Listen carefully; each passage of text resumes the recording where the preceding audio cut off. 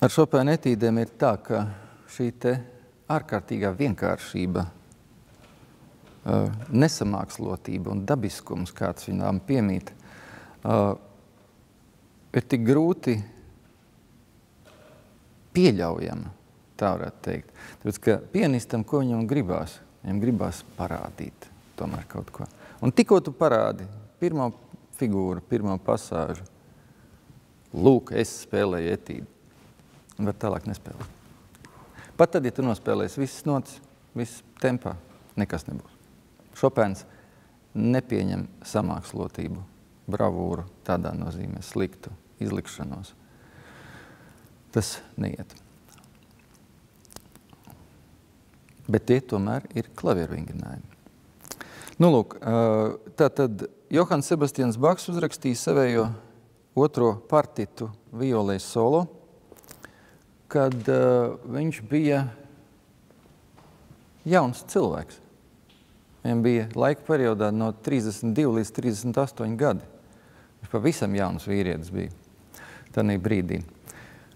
Nu, un tikai kaut viena šī fakta gaismā paskatīties uz tām čakonas koncepcijām un interpretācijām, kādas mēdz būt un gadīties visā pasaulē, un arī kā ir Feručo Buzoni, piemēram, iztaisījis apdari, tur kaut kāda neatbilstība veidojās. Un neatbilstība veidojas arī ar to, ka uh, Čakonu viņš uzrakstīja kā pēdējo daļu šai partitai. Tas nav patstāvīgs skaņdarbs. Un vēl vairāk, pirms viņš uzrakstīja pirmo akordu, viņš uzrakstīja vārdu Čakona. Un Čakona un pasakali tie ir divi, viens un tas pats žanrs, tikai ar formas atšķirību, ka Čakonā ir sekvence, tas ir proti akordu secība, vērtene, no kuras tā tālāk iziet variācijas. Un pasakaljā ir tēma, un tai klājās virsū variācijas pēc tam. Nu, lūk, un uh, līdz ar to šī te spāņu muzikas, jo tas ir abas divas ir spāņu dejas, līdzīgi kā Sarabāna darītais gaitā. Mums tā šķiet, Vācija mums ir diezgan tuvu, nu, bet tā Spānija tur ir šausmīgi tālu. Vai varētu būt tā, ka šis te spāņu muzikas iespējas uz Bahu ir bijis tik ārkārtīgi liels? Jā, bet mums jāatcerās viens vēsturisks sīkums. Vēl 17. nemaldos gadsimtā Spānijai piederēja Nīderlande. Un tur jau no Ziemeļvācijas tas ir ar ratiem aizbraukt.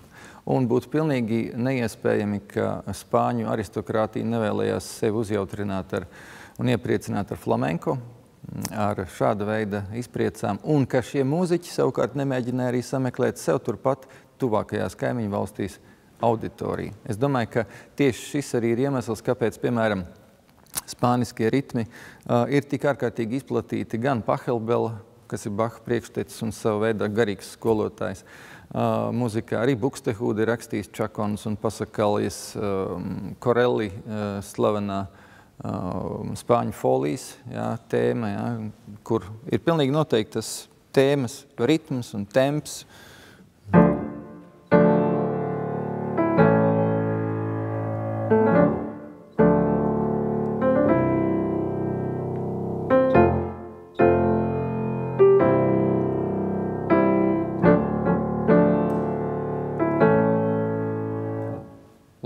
šajā te tempā ir tāda sajūta, tas ir tā bolero, tas ir šīs te folijas, tā ir čakona, tā ir pasakali, tas pat, nu, piemēram, pasakali.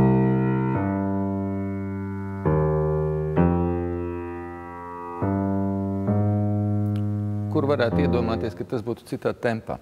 Līdz ar to, un ka tas vēl būtu saistīts ar kaut kādām tempa izmaiņām, visādām tam līdzīgām lietām.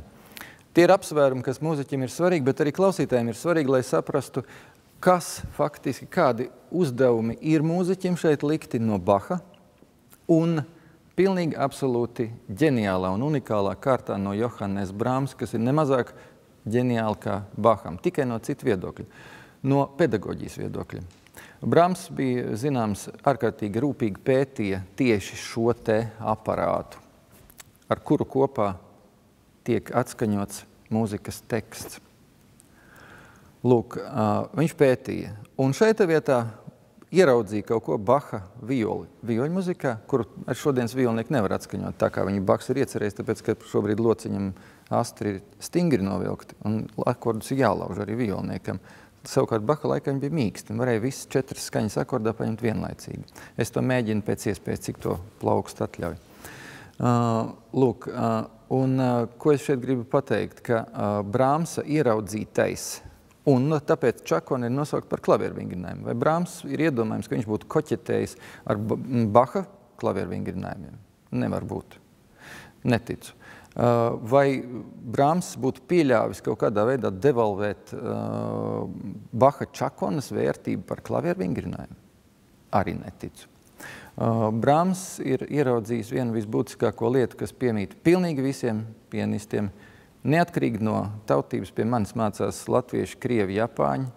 Visiem tas ir. Vai viņiem ir 9 gadi, vai 37 gadi, vai 46 gadi, vai tas ir Vladimirs Horovits savos 80 gados, kad spēlē.